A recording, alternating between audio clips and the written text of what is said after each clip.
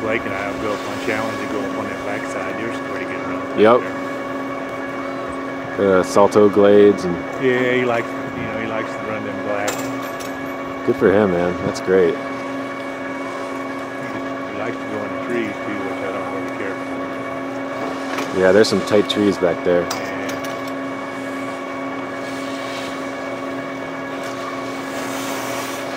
you know, we had him without, you know, he's just